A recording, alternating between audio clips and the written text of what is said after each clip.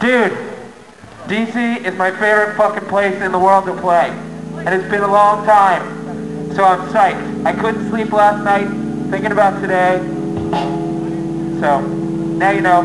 First up, you know.